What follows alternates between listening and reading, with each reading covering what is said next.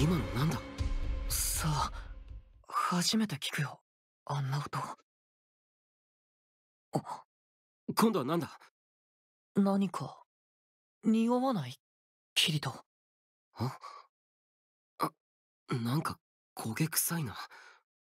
それに生臭い獣臭さみたいな。セカまずいおい見ろや！今日はどうなってんだ？また白いウムのガキが2匹も転がり込んできたぜ。どうする？こいつらも捕まえるか。男のユームなんぞ。連れて帰ってもいくらでも売れやしね。え面倒だ。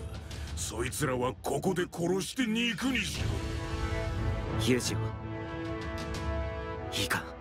セルカを助けるぞ動けるな。わ分かった。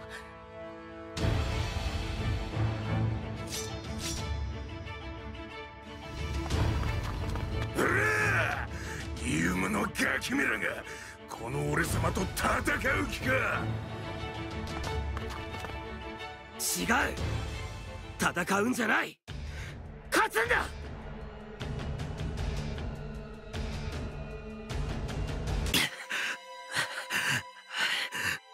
つらの動きや反応。ただのモンスターじゃないのか。この屈辱はお前らを八つ咲きにして食い散らかしても収まりそうもねえが。とりあえずやってみるとするか。キリトやめろユージョ！やめろ！ユージョ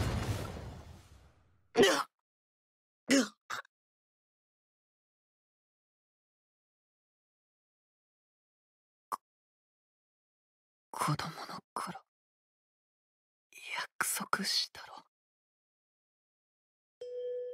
僕とキリトとアリスは生まれた日も死ぬ日も一緒。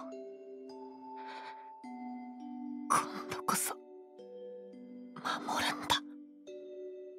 僕が。この記憶は俺の記憶なのか。俺はこの世界で育った。ユージオとアリスと共に。そうだ。世界は永遠に変わらないと信じていた。三人いつまでも一緒だと信じていたんだ。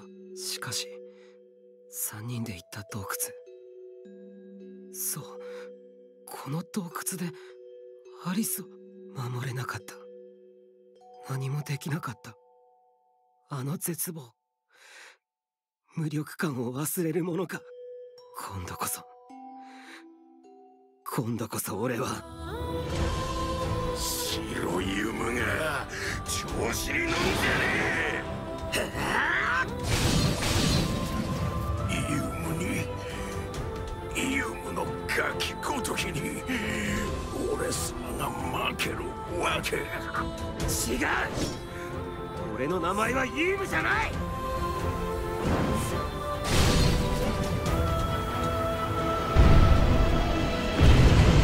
俺は。